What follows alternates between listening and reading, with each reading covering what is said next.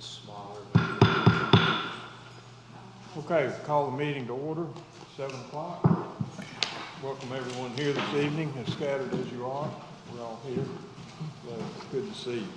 Uh, Before we really get into the meat of it, we have actually five hearings.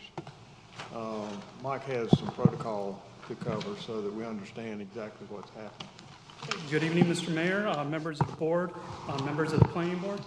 Um, One of the things that's a little different tonight with tonight's joint public hearing is, you notice there's probably uh, several steps that you haven't had to take previously when entering the building. In addition to having your temperature checked, there was a series of questions that were asked um, as part of a health screening when you walked in, just to make sure that um, everybody's feeling well. Additionally, you'll notice everybody's very spread out, including the planning board and the applicant, as well as any public that are going to be here tonight. Uh, we made sure that everybody is able to social distance, um, but we do ask that for those who are in the crowd or in the, um, uh, the audience seats tonight, if possible, to keep your mask on unless you're presenting into your microphone, just in case somebody does have to walk by you and it, we're not able to meet the social distancing requirement at that point in time. One thing you're also going to see tonight is each um, agenda item is going to have a rotation that'll occur. The back several rows, with the exception of a couple for staff right now, are uh, accommodated for the applicant as well as public that would like to speak. We're going to be rotating in the applicant as well, as well as any public to make sure that everybody has an opportunity for that agenda item to participate entirely within the, uh, within the room. Um, There's a- one agenda item that we're going to have to rotate some of the public in, but we're making, uh, making efforts to accommodate that. So there will be a brief period after each agenda item um, when we'll escort those, uh, the applicant out and then bring the next applicant in. With that, does anybody have any questions? All right, perfect. Okay, thank you. All right, well, the first hearing is on the Wake County Historic Landmark Designation, uh, request from Capital Area Preservation for 216 West Gannon. Mike, you want to introduce our speaker? Yes, um, as you know, with, uh, one of the items in the 23, the 2030 strategic plan, um, deals with small town, life, um, and part of that is making sure we preserve the heritage that we have. Um, an important component of that is preserving some of the historic structures, um, as well as the stories behind those structures, um, within the town. Tonight, we have Jeremy Bradham uh, from Capital Area Preservation, who's going to be providing a presentation on an application and request to designate um, uh, the uh, Barbee House at 216 West Gannon as a Wake County Historic Landmark. Um, To preface this, one thing that's important to note is the town of Zebulon does not have a historic district, but we do currently have two and potentially three historic landmarks that are that are um, regulated under the Wake County Historic Preservation um, Commission, and Capital Area Preservation provides um, staffing assistance to them. Um, This does not create a historic preservation commission for the town, um, but we utilize the services of Wake County and CAP to provide those services for us. With that, I'll introduce Jeremy Bradham from Capital Area Preservation.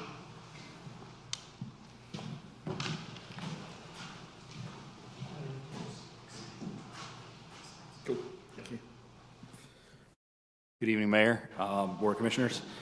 Uh, My name's Jeremy Bradham, as as Mike mentioned, uh, and I'll be presenting uh, the request to designate the Georgia Neva uh, uh, Barbee House as a Zebulon Historic Landmark. So the house is located at 216 West Gannon Street. The owners are Todd and Margaret Gekowicz. I hope I got that right because I've met them a couple times and I still, I still got it wrong, didn't I? You did. Yeah, I butchered it, but close enough. Um, the lot is 100 foot wide by 235 feet deep, and the house sits 55 feet back on the property, and you'll see its location there on West Gannon. Um, the proposed boundary for the landmark designation here in Zebulon does encompass the entire house parcel itself, um, but it does have the house and then the garage there to the back, and then a small contributing structure that shares the border with another property as well. Uh, the George Sprite Neva Flowers Barbee house was likely built around um, late 1914. The Barbees acquired the property in October of that year. Zebulon was still in its infancy in its first decade of being incorporated. Um, George Sprite Barbee was originally a Morrisville native, and he moved to Zebulon around 1912, sometime after earning his degree of, uh, in medicine from the University of North Carolina. Once he completed his studies in May 1910, he had two years of hospital work in Raleigh and became a licensed physician later that year. Two days later, in May of 1912, Barbee appeared to be officially living here in Zebulon. Uh, he served as a judge at a debate that was actually part of the commencement activities for this school right here. Uh, in 1913, uh, the North Carolina Yearbook and Business Directory lists him for the very first time as a physician here in Zebulon. Uh, George Barbee uh, and Eva Flowers were married on October 22, 1913. Uh, the following October, uh, they, George Flowers divided an acre purchased from Dr. Cavanis into two parcels. Um, one was conveyed for two sisters. This was um, the one we'll be discussing today. Um, the sisters built houses of similar scale and massing, imposing four squares with deep boxed eaves, broad porches, um, but this particular brick dwelling um, was very imposing. As a matter of fact, I do want to mention also this is the only individually privately owned property that is a nat, um, on, listed individually on the National Register of Historic Places here in Zebulon. The other National Register of Historic Places property is the building we're in right now. So, just an interesting fact. Um, so the Barbee was the Barbee house was actually home to only two families throughout the 20th century: uh, the Barbees and the Masseys. Um, in 1956, it was sold to the Masseys, and they owned it through the 1990s. Fast forward, there was a renovation in 2010 to the house. And then the current owners purchased, I'm not going to try and butcher their name again, but in August of 2019, and um, it did undergo some um, renovation and restoration work in that 2010 time period. Um, and some of that will be reflected in the pictures. So I'm going to give a little description of the house. It's a two story on raised basement, brick clad, modified craftsman four square with some colonial revival and prairie style elements throughout. It's got a symmetrical uh, facade, three bays wide has a single story wraparound front porch with a port cochere on the left side, as you see right there. Um, there's a Palladian arrangement uh, in the vents, and um, I don't want to bore y'all too much with architectural description, but does have red laid brick running bond. It clads the exterior walls and is continuous from the foundation all the way to the top.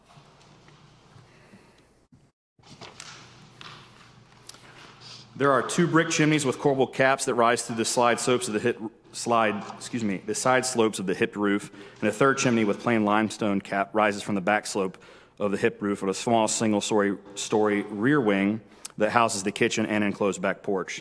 There's a cast iron stair on the rear as well, as you'll see with a basement that goes down to a cellar. Uh, this particular facade right here um, features a unique window that's not found throughout. Um, it's got a uh, generally speaking, it's 12 over one sash, so you have 12 panes over one pane of glass, which is pretty popular with the Craftsman style. But this side has this prairie style window right here, um, and it's actually nine over one. And we think it was added a little bit later, but uh, it is indicative of that prairie style, which there's nothing else like that um, here in Zebulon. Um, so the flanking windows are a little bit taller in, in this as well, but those are solid stone lintels as well throughout at each one of those windows. Uh, the front porch itself features a solid brick balustrade wall, which was a popular craftsman porch. It's got three rectangular openings in each bay between the porch columns, um, and they also have thick limestone sills to match all of the windows as well.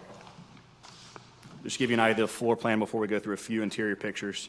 Um, it's a modified four square plan, which you could have really seen in any Sears and Roebuck type magazine at the time. You could order it, it would arrive on the railroad, and you could place that kit together. Um, so uh, the inset rear section houses a butler pantry, bathroom, and a closet um, at the first floor, with closets, bathroom, and a stair landing on the second. Um, there are really only a few modifications, and that was two new bathrooms installed in the second story um, and one of the bedrooms in 2010. Oh, that went forward. Sorry. All right, so this is your front entry hallway right here, just showing um, a period mantle that was placed there and some, um, and some moldings that were replicated based on the originals. Um, is, you know, obviously houses change over time, but that 2010 renovation was to try and get it back to that original appearance. Um, the Colonial Revival mantle you see there has got nice Tuscan columns with an overmantel, a brick firebox, and a hearth. It's roughly centered on the wall, so, um, and it carries through to the other room as well, and you'll see that uh, here in a second. But across through those uh, French doors right there, is one of the original craftsman style brick mantles, which are very indicative of the 19 teens. Um, and you've got another pair of French doors that leads you into this room right here. And this is your dining room area. And the molding above is actually what was added in that 2010 date. In the back part of the dining room, uh, it's got beaded ceiling, craftsman style wainscoting, um, and it's got that colonial revival mantle in there. So you have got both colonial revival and craftsman as well. There's another shot of, of that uh, living room area. And their butler's pantry right there, just so you can get a good idea of the interior details that are still intact. Just briefly on the second story, it's got a bedroom in each of the four corners. Um, closets or portion of the closets, have, like I said, have been converted into bathrooms, but most of the original material remains intact. And everything mimics those simple mantles on the first floor, your craftsman um, mantles thrown in with your fireboxes in the corner of the room. Uh, perhaps one of the more significant uh, features of the property is actually this simple well house that was constructed at the time of the house. Remember, I mentioned that there were two houses um, built by, for two sisters, and uh, this is actually where the two sisters, you know, it's anecdotal, but they would gather and they would meet and talk to one another, and this is why this literally straddles the, the property line. But it is a contributing structure. Um, it's re- relatively good in integrity and everything, and it's uh, important to the overall character of the historic house. And then you've got a garage that was built around that same time in 1914, but it's non-contributing to the landmark itself. Um, it'll be incorporated into the boundary if you were to um, vote on that today, or when, when you vote on it, but uh, it's been modified too much to uh, be a contributing structure. So the significance statement, um, the Barbee House embodies distinctive characteristics of an early 20th century craftsman four-square dwelling with an eclectic use of some colonial revival and prairie-style architectural details. The house is a notable example of its type and style, possessing high artistic values compared to others in town and in the county. Craftsman style masonry four-square is relatively rare in the county, and the Barbee House is Zebulon's only example. Both the material and the size of the dwelling give it a grand presence on West Gannon Street. Uh, and here to uh, present uh, the Wake County Historic Preservation Commission recommendation is our Vice Chair, uh, Jeff Hastings. Jeff, if you don't mind, I'm to do that, but so you can officially that.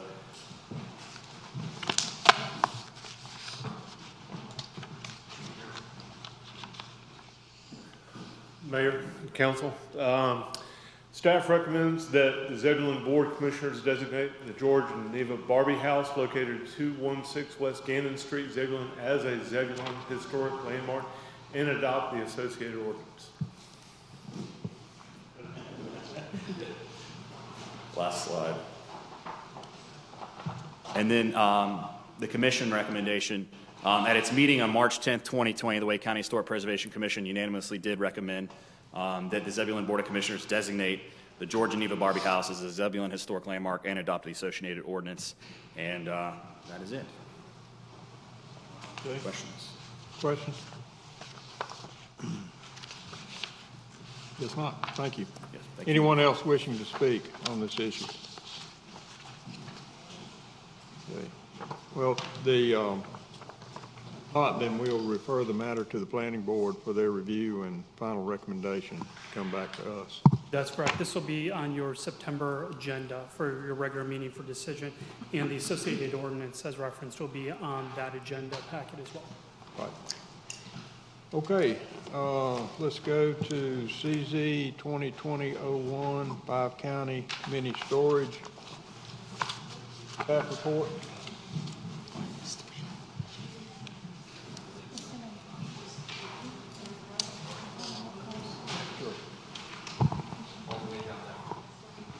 I'm sorry, it's just, I tend to. I know, thank you.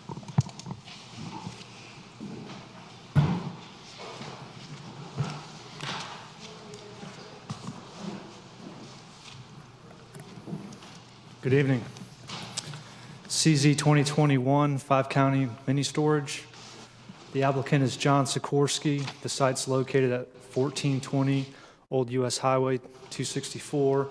The existing zoning is light industrial. Parcel size is two parcels, which are a total of 2.31 acres. The request before you today is a conditional zoning from light industrial to light industrial conditional zoning. This is a, sorry, this is a vicinity map. Parcels highlighted in yellow, located on Old US Highway 264, just west of the intersection of North Carolina Highway 39. There is an existing storage facility on site. You have um, warehouses to the adjacent east and to the adjacent west. current zoning in the area, light industrial to the adjacent east, and then heavy industrial to the adjacent west. These are pictures of uh, the posted sign. This is looking on um, one of the parcels eastbound. This is on the western parcel looking westbound.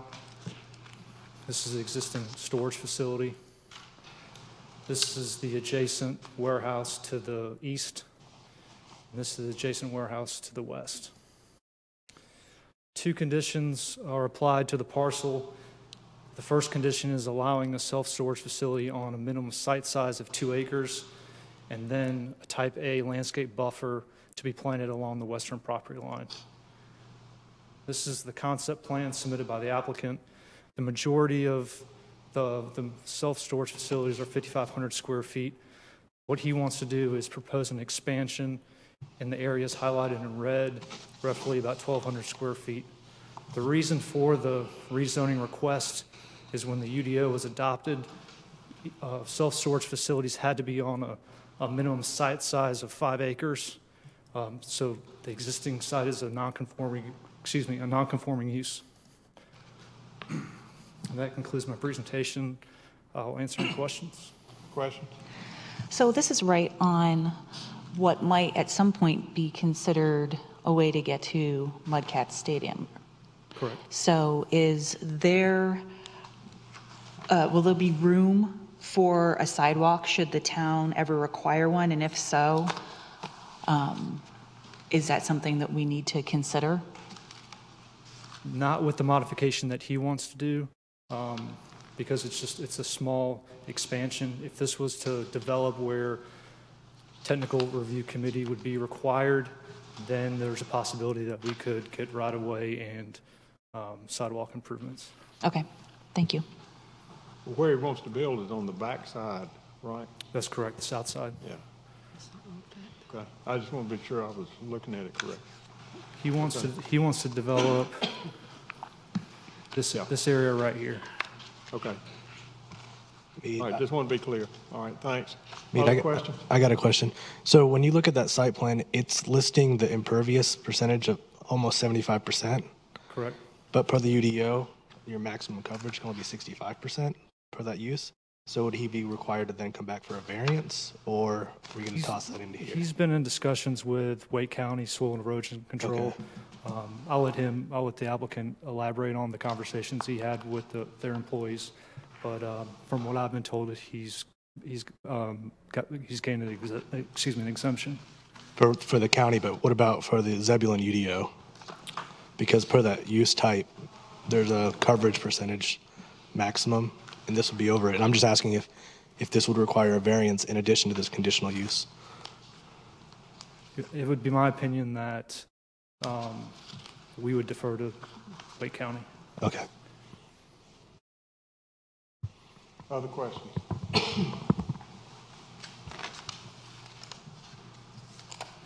Okay, uh, anyone then wishing to speak in favor?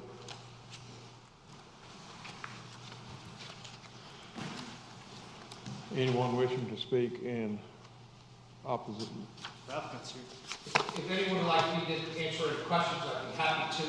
Well, you need to come to the podium, Mr. Dorsey. I, I just, if you don't have anything to say, that's fine, but we'll ask them if they have any questions, okay? Okay. In light of this gentleman's question, Excuse me, Yes, I gotta can you take that. just state your That's name fine. for the record, uh, please? my name is John Sikorsky. S-I-K-O-R-S-K-I, if you need that. Um, I spoke with Barney Stormwater Runoff, and he has said, based on what you have built and the way you've built it, that he would exempt our facility uh, for adding 2,500 square feet of buildings, 20, uh, 50 feet by 25 twice, plus the required uh, aprons around it. If that clears that up. Okay, Thank you. Now, let's see if anybody has a question for you. Any questions? So you're going to be installing additional landscape buffer? I would. Okay. yes. Okay. I sort of say yes. whatever you guys, within reason. Okay. Thank you, I'm not, that's just how I think, I, you know, and, you know, look, little old Zebulon's growing nicely. so, Okay. applaud. Any Thank other you. questions? And thank you, John. Thank you. All right, anyone else wishing to speak in favor? Anyone wishing to speak in opposition? Okay, we'll close the public hearing and refer that matter to the planning board for their recommendation. And now we'll open CZ 2020-02, 1500 to, fi- and 1512 North Arendell Avenue.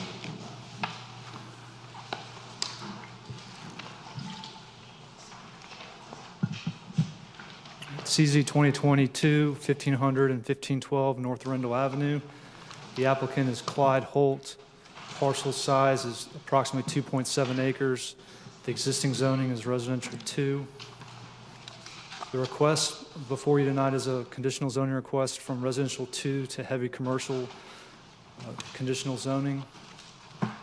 This is uh, the vicinity map located on North Arendell, in between inter- intersections of uh, Green Pace and the intersection with 64, US Highway 64. Uh, Two parcels are uh, requested the rezoning. One is currently developed as a retail use, uh, uh, um, an auto sales lot, and the northern parcel is currently vacant. You have some retail across North Arendell Avenue, um, some retail to the adjacent uh, southeast, and then you have single-family attached dwellings to, to the east. Uh, There's a church use to the adjacent north. The zoning in the area, uh, to the north, you have residential two, you have residential multifamily to the east, heavy commercial to the southeast, um, heavy commercial across the street, and then also across the street, you have some light industrial. Uh, Future land use map uh, recognizes this area as mixed use. This is a picture of the the posted sign looking northbound on North Arendell. Uh, This is another property being posted uh, looking southbound on North Arendell. This is looking at the adjacent church facility and the uh, vac- the vacant subject site. This is the existing auto sales lot on the southern lot that's um, requesting the rezoning change. This is um, a portion of that vacant lot and the existing lot looking at the, um, the uh, townhomes to the adjacent east. This is a concept plan that was submitted by the applicant. Uh, The proposed tentative use would be uh, a a drive-through retail establishment with two access points, one on North Arendell, and then there's another access point that would be a shared access with the uh, uh, lot to the adjacent south. Um, You'll see um, with the proposed zoning conditions, they are uh, constructing a fence along the adjacent property lines of the single-family attached and the, and the church facility. Uh, Three zoning conditions placed on the property. Whatever building is proposed will not exceed 35 feet in height. When the project comes in for technical review committee, a traffic impact analysis uh, will have to be submitted and approved by the town of Zebulon. And then the third is the, the construction of the fence that, that I just mentioned. With the rezoning request, all uses allowed in the heavy commercial district would be allowed except for these eight. An ABC store, a bottle shop, a flea market, a golf course or driving range, a microbrewery, micro winery, micro distillery, nightclub, dance hall, tattoo and piercing establishment, and a truck stop.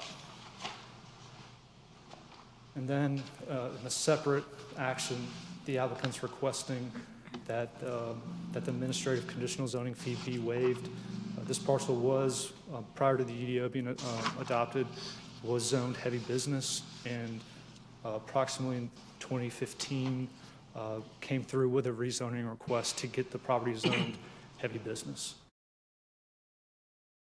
Um, Available for any questions.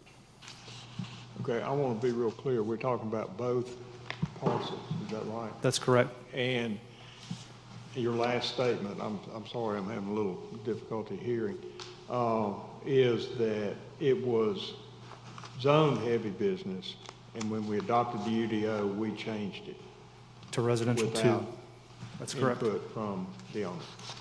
Okay, thank you, I just want to be clear on that. And, and just to elaborate, that concept plan that was submitted, that's only for the northern parcel, the vacant parcel. That, does- that concept plan doesn't apply to the, the auto sales lot that's currently developed. Okay. Yeah, that, I think why I was asking the question, because I got a little confused about that. Okay, Thank you. Can you please uh, elaborate more on where exactly the fence is going to be? So the condition is on the property lines adjacent with residential dwelling units and the church property. So that would be this property line right here, and this property line right here. Those property lines, just where the church, if I can go to the vicinity map. All right, so we construct along right here, That that's where a fence is going to go, next to those in the brown? Right, on the, on the, on the subject property adjacent to where these, uh, where the townhomes are, and then on, along the church property. Okay, The church is located right here to the north. okay. Do we know? So it was rezoned from what originally? From in 2015? What was its original zoning? Prior, to- prior to that, Yeah. uh, I'm, I'm not sure. Okay. I don't know if the applicant can shed light on that. I guess so. I was just wondering if the conditions that were established at that time have been met for that prior zoning. If we're going to add new zoning conditions on top of that, or have they already completed all those conditional requirements? Prior to the UDO, we didn't have conditional zoning, so it would have just been a, a- a zoning map amendment without conditions on it. Gotcha. It would have to meet the code of ordinances. Gotcha. Okay. Other questions? Prior to the UDO being adopted, there was a notice for the public to review the UDO and to contact the town with questions and concerns. That's correct. Thank you.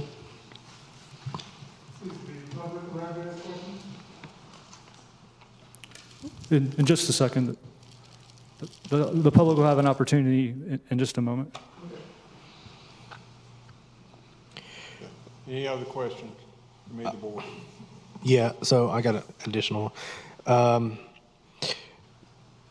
the concerns of the neighbors from the neighboring uh, housing townhomes or whatnot, um, I saw that they had kind of been concerned with pollution, whether it be from lights, sounds, activity, trash.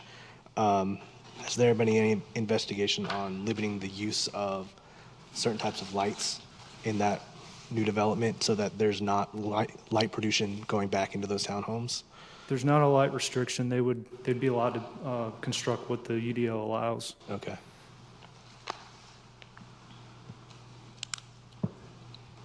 Any more? Any more questions? I saw some concerns um, regarding the um, buffer from the um, president of the Residents Association for Wedgewood? Whatever, I'm sorry, whatever the, I'm sorry? Lakeland? Yes. The one that, that adjoins, that's the brown property from the picture. Okay, thank you. Um, And so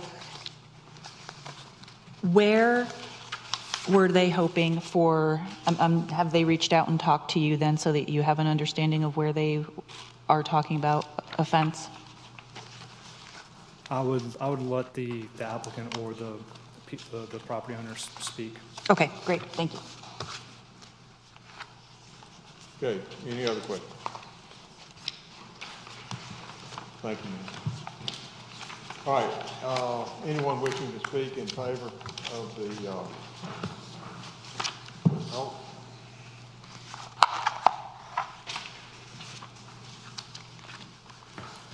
Good evening, I'm Clyde Holt. Um, I'm with the Fox Rothschild Law Firm in Raleigh, as is my uh, associate uh, Ashley Terrazas. Uh, we're here speaking on behalf of the property owner, Tommy Perry. May I remove this? Yes, sir. Thank you. The, um, we're here tonight asking to that you, that you recommend and support remedying what we consider to be a mistake in your recent adoption of the UDO and the rezoning process. The story starts in 2008 with the town board's adoption of your current comprehensive plan. Yeah, Mead, if you'll put that first slide that we gave you, not that one, but the next one, and that's the only one I think I need to show, uh, this one. This shows the commercial corridor of Arendell Avenue uh, between the bypass, the interchange of the bypass as you proceed uh, north and west away from town. Uh, It illustrates the commercial activity and the rapid, the rapid expansion of that commercial activity along the corridor uh, prior to the adoption of your comprehensive plan in 2008, and certainly since then. Your comp plan recognized that this was no longer a residential area and re- recommended commercial zoning on all of the frontage along uh, the highway. You'll see with uh, no exceptions between the interchange and our property, it was all rezoned either to industrial or to the heavy business district. That was the recommendation. Based upon the comprehensive plan recommendation, and that is still the recommendation, by the way, it hasn't changed. There's no comprehensive plan recommendation for residential zoning on this property. But in reliance upon that comprehensive plan uh, recommendation, Mr. Perry, our client, purchased the property as an investment. And then uh, in 2015, requested that it be rezoned to the plan recommendation Highway Business District. Um, The next step of the story is uh, the adoption of your UDO, uh, its consideration in the fall of uh, 2019 and its effective date on January 1st. And that UDO adoption um, did away with all your formal zoning classifications, as you know, and came up with a new list of commercial activities. Commercial zoning districts, residential zoning districts. And that's quite often the case when a municipality enacts an updated and new regulation. But the common practice is to take the, look at the property that was zoned prior to the new UDO and to attempt to match up the district with the district which is closest under the new plan.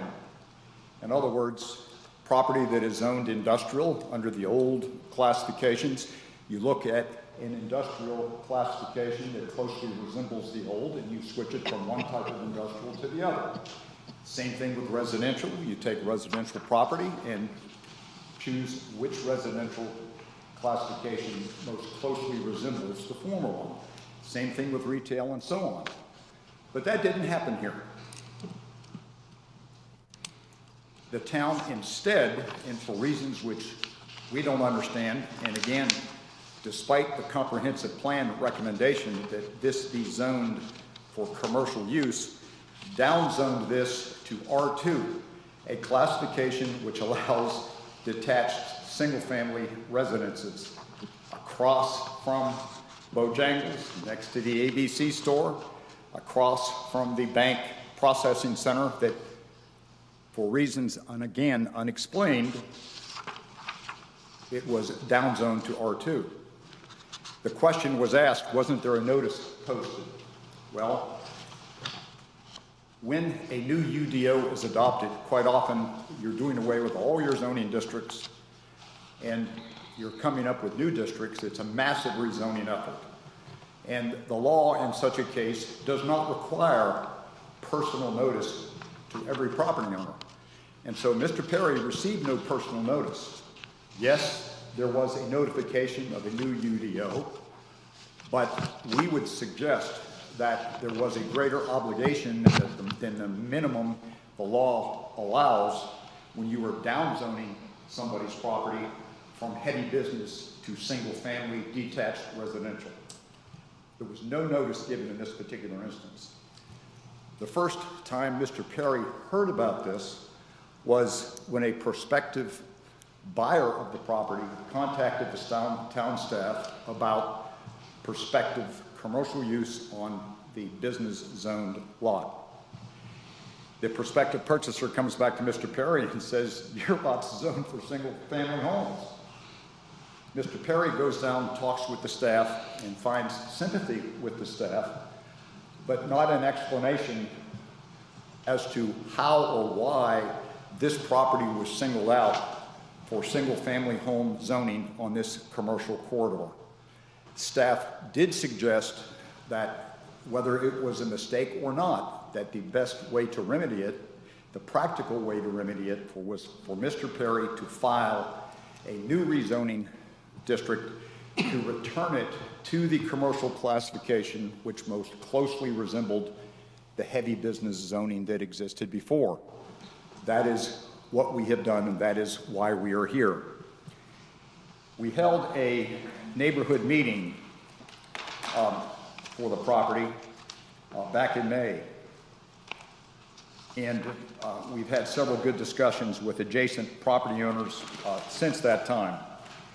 Um, There has been a good dialogue uh, regarding possible uses and also uh, possible conditions which we could attach to the case to make it um, palatable as far as our adjacent property owners, both commercial owners as well as residential owners, as well as the Baptist church. Uh, We have added numerous conditions to the case, some of which were summarized by uh, me. Thank you, sir. But I'd like to go into greater detail because he did not mention all of the conditions.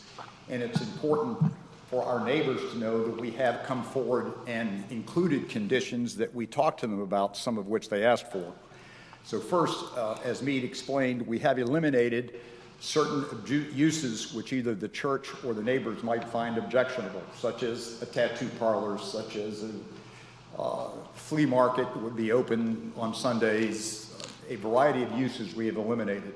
Further, we have added conditions that would apply towards any new construction on the property. Uh, Specifically, there is a 35-foot building height limitation. Hours of trash collection have been limited. Apparently, there has been some problem with the uh, other commercial uses that border the townhouses as opposed to picking up trash uh, other than du- during normal working hours. And so that condition has been added. Exterior lighting must be aimed and shielded to prevent any glare, visible glare on the adjacent residential property. Uh, Stormwater shall flow towards Arendell rather than back towards the uh, townhome project. Um, A new construction shall require that a privacy fence be installed in addition to the code-required landscaping along the adjacent residential properties. Um, The condition specifically reads that when the lot that would now, there's some consideration for a restaurant being done, the the fence would be installed immediately with that new construction. When there was new construction on the adjacent lot, which is currently occupied by the auto sales firm, when and if there was a change, that fence uh, would be installed.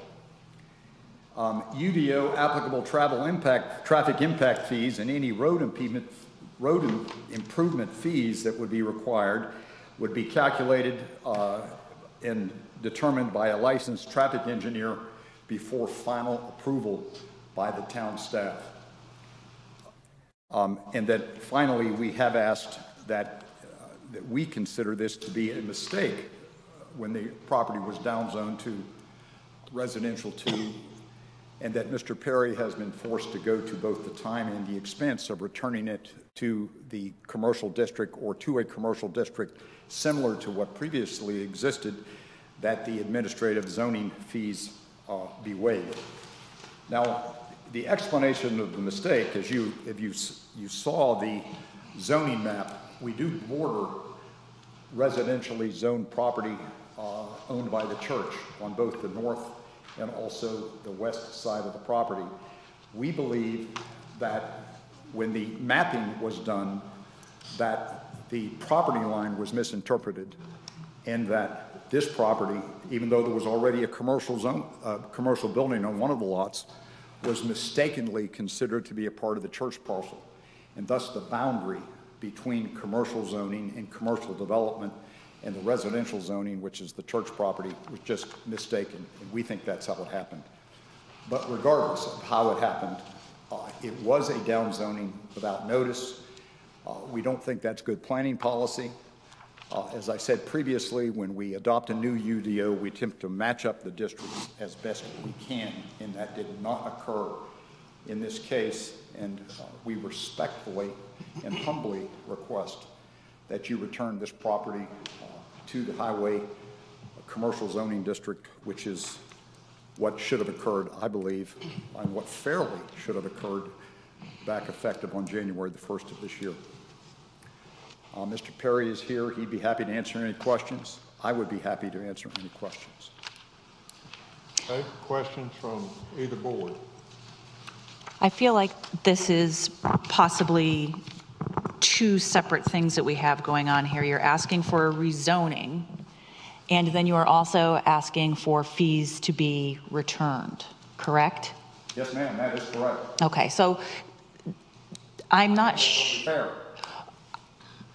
I'm saying this, this is two separate things oh, instead Oh, of, it- It is, it- this is my only chance to to speak. And so, yes, it is, it is two separate things. Okay, because- one shot. what were the zoning fees that your client put Ma'am? out? How much did your client spend on zoning fees? To file this particular application, Yes. what is, what's the fee total? Do you? The planning director and the assistant planning director reported seven hundred dollars.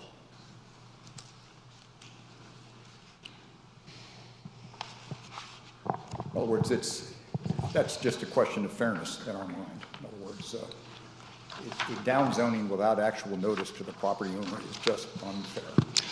Okay, question? If a change is made to one of our traffic laws and I zip through town and violate that law, does that mean that I can say, well, the town didn't notify me? Maybe you want to ask that question of the town attorney, not of me. Eric? It's a completely different matter in a criminal uh, violation of the traffic. I'm just talking about rules in general. You mean in the, in the big picture, should we all abide by the rules? Yes, ma'am. Okay, all right, thank you. Thank you, ma'am. Other questions from either board? Thank you, Mr. Hope. Anyone else wishing to speak in favor of the petition? I know we have uh, some written comments to read. Is there anyone here that wishes to speak in opposition?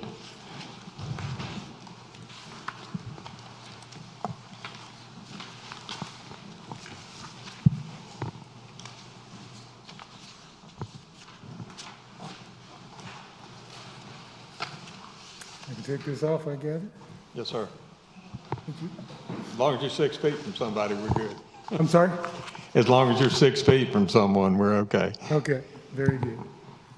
Um, My name is Dominic Schilling. I live in Wakeland Townhomes. I'm also the president of the homeowners association, and I appreciate the opportunity to come before you guys and uh, speak. Um, I guess we've had good discussions with Mr. Holt and with Ashley and uh, emails back and forth, and they have been very willing to listen to our concerns and address our concerns. So I would say, you know, we are very pleased with that aspect of things. From my standpoint, as a property owner,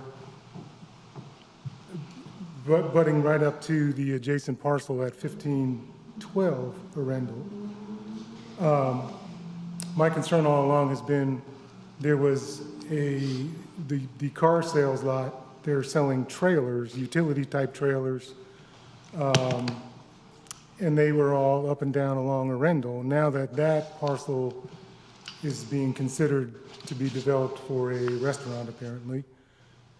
Uh, What was going to happen to all those trailers? And that kind of seemed to throw some confusion into things for a little while, but then we were told that the trailers would be moved onto the parcel that is now adjacent to Wakeland Townhomes, but they would be kept as far away from the townhomes as possible.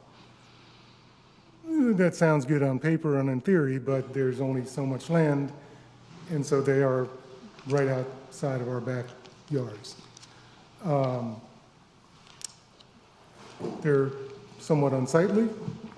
Um, They tend to get moved around several times a week by either fairly heavy-duty diesel pickup trucks or tractors.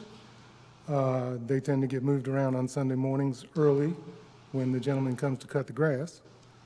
Um, And so, in practical fact, they're, they're right out our backyard. Uh, People also come after hours and on weekends to look at the trailers because all they have to do is just kind of park their car in the lot and walk back there.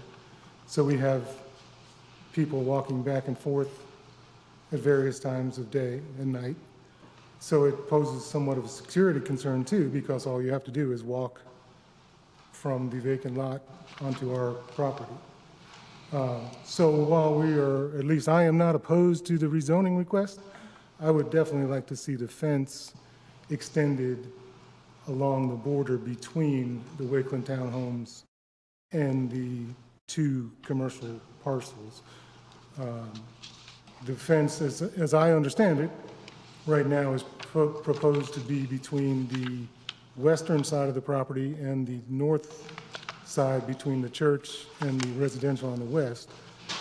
But because the parcel between the restaurant usage and the townhomes is currently not going to be changed, there's no plan to put a fence in place right now. But I would argue that in fact, the usage has somewhat changed because now there's a bunch of trailers on that vacant piece of land, whereas there was not before. So our, our thought is not that we're opposed to it, but we would like to see the fence as a condition of the rezoning request. Thank you. Uh, Question? From either board, by the way.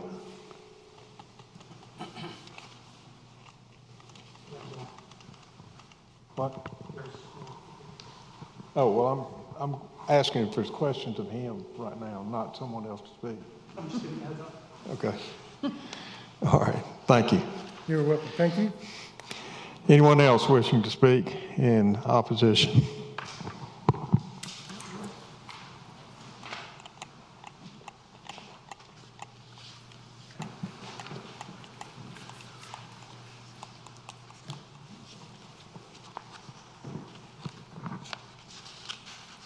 Hi, I'm Tina Binder, and I live in the same community where Dominic Schilling lives, that we back up to um, the property.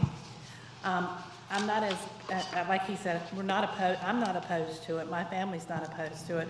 But one of the other concerns that has not been mentioned is the smell of restaurant food. The grease, if it's a fried chicken joint or a hamburger joint, you're going to get the french fry grease, the chicken grease. We already smell Bojangles. And so um, I- it's just going to add to the smell of the, the neighborhood there, which is, could, during the hot summertime, would be very unpleasant. And that's my only other concern, if some type of filters could be added to the restaurant um, when they do, if it is a fast food restaurant, when they do come in. Um, The other thing was the fence, to get it um, installed prior to any change further down the road, but Dominic um, addressed that, so that's all I have. Thank you. Any questions? Thank you. Anyone else wishing to speak in opposition? I I know. Okay, we have uh, written comments that have been submitted, Uh, so I'm going to ask uh, Stacy to read those. I, as a homeowner adjacent to the said property, 1500 and 1512 North Arendell Avenue, do not recommend that a conditional zoning map amendment from heavy commercial to heavy commercial conditional zoning be considered or passed. Why at this point go to heavy, heavy commercial conditional zoning? So another fast food restaurant can be placed there. We have had numerous accidents in that area that has tied up traffic in both directions.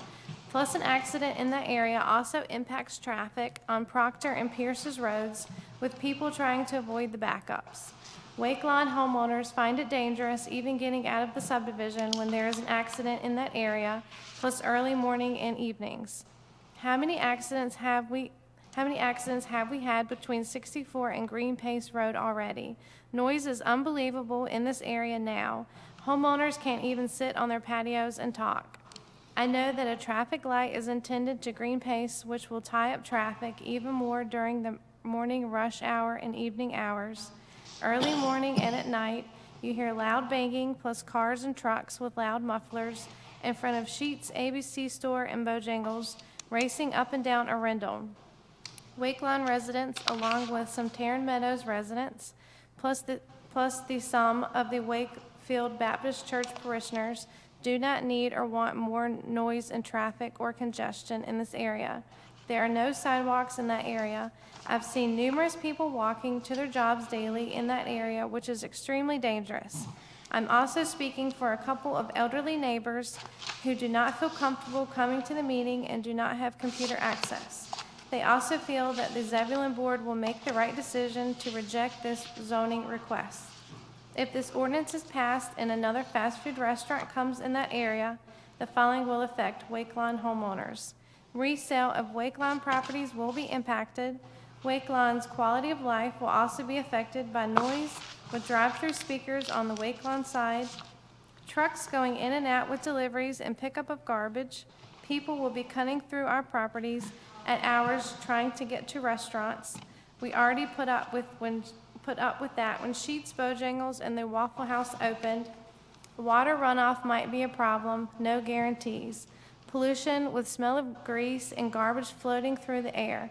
Thank you for your time, Karen Underhill. That was read verbatim. Okay, thank you.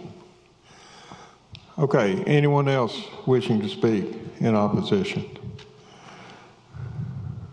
All right, seeing none then, I'm going to refer the matter to the planning board for their recommendation to the town board, uh, which would probably come at the September meeting.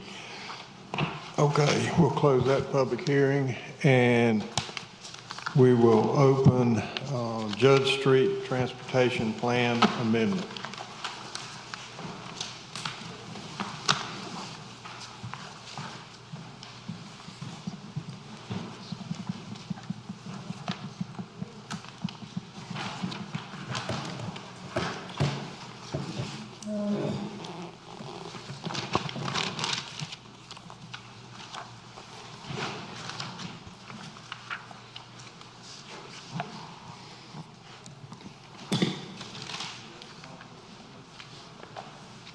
Again, good evening, Mr. Mayor, members of the board, as well as members of the planning board.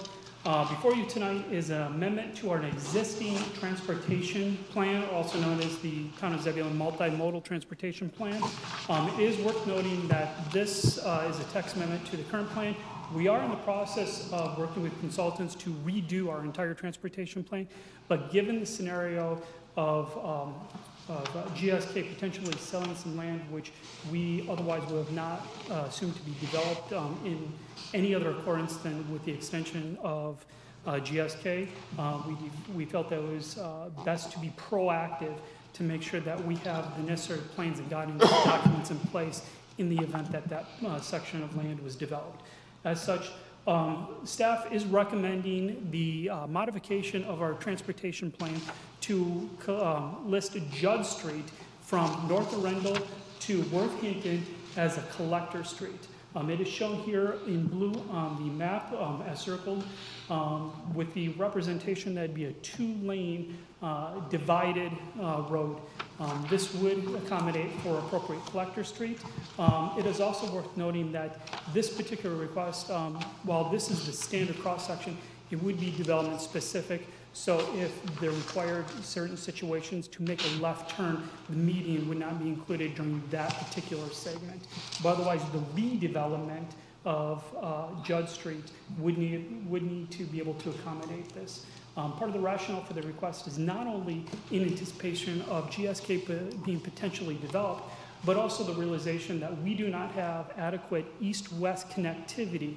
Right now, if somebody wishes to um, connect to the, uh, to Worth Hinton, they either need to go down to Gannon, uh, uh, down Gannon and then back up Worth Hinton, or all the way up to Green Pace and then back around. This would improve response time for emergency service vehicles, as well as potentially alleviate traffic for some of that residential development that currently lives on Worth Hinton and wishes to shop at um, Triangle East Shopping Center. And with that, I'm available if you have any questions. Question from either board. How would we know if the um, road was going to be uh, town-owned or state-owned? It said that it, there could potentially be either. That's going to be something that we're going to have to work with NCDOT as well as a potential applicant.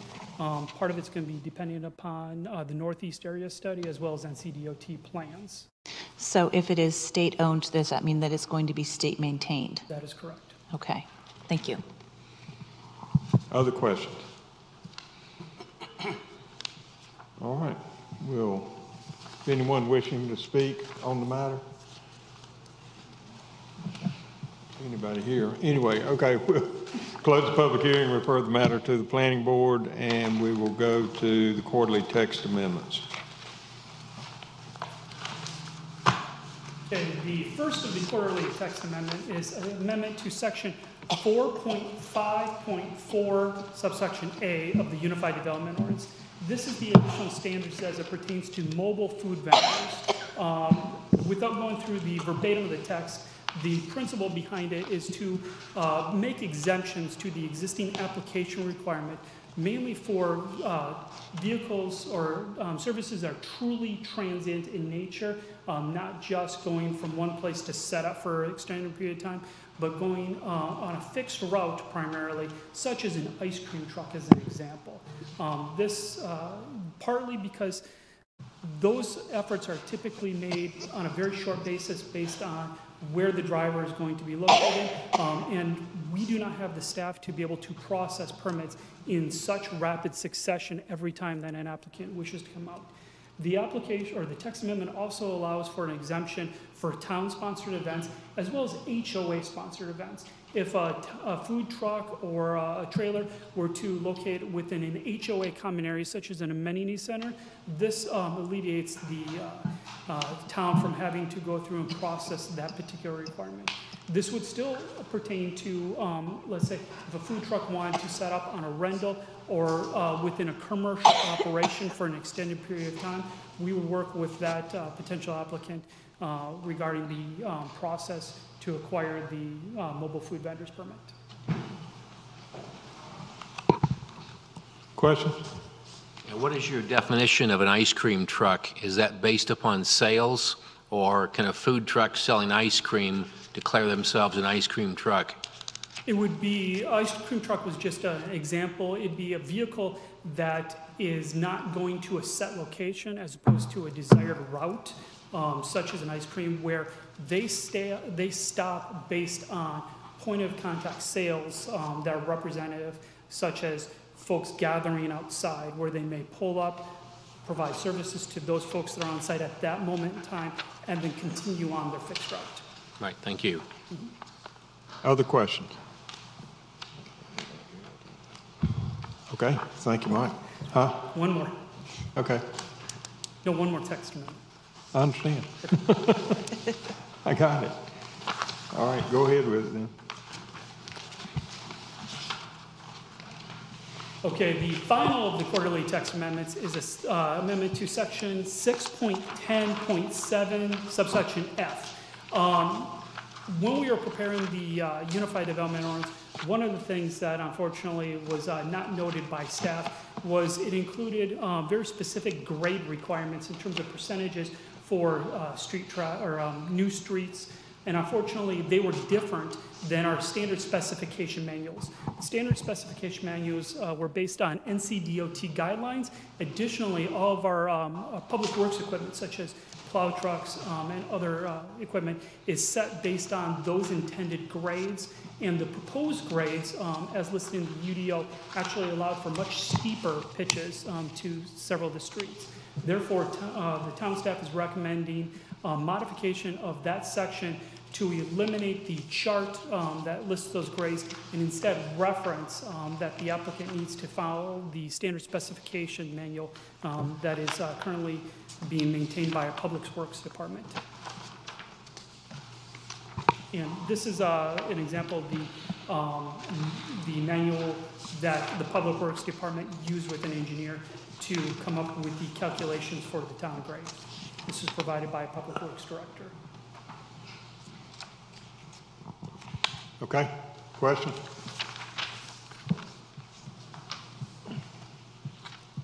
Anyone wishing to speak? Okay, we'll close the public hearing, refer those two matters to the planning board as well, and they will in turn make their recommendations back to us. So is there a motion to adjourn? So moved. Second? Second. I got two motions, so it's just, I don't care. Just take one. Either one. All right. All in favor? Well, we don't need it. That's all right. We're, we're adjourned. Headaches and all.